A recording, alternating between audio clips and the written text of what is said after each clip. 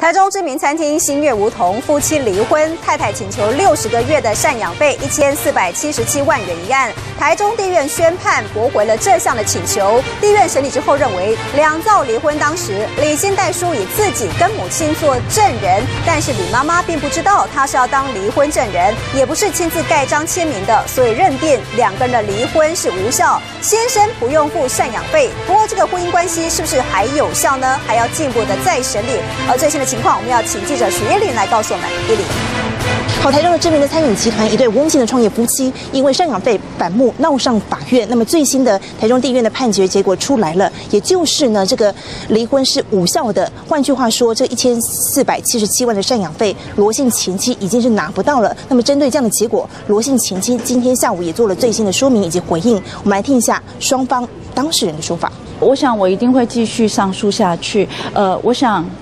我想绝对事情还是能够解决，也许到最后我不知道啦，最坏的打算他应该还是一样哈，不会是要我的人是要我的钱嘛？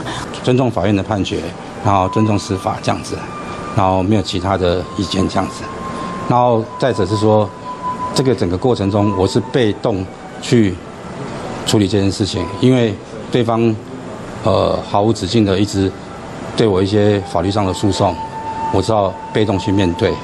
好，为什么会离婚无效呢？法官是认为当初离婚的证人有问题。那么当时在九年前离婚找的证人是一名李姓代书，以及代书的母亲八十多岁了，但是代书的母亲没有亲自见闻，也没有亲自盖章签名，所以最后是判决离婚无效。那么现在拿不到赡养费，而且离婚也不失去了效力，等于是再次的煎熬，这让这个罗姓前妻相当的不能接受，而且呢，最后也不排除要再上诉。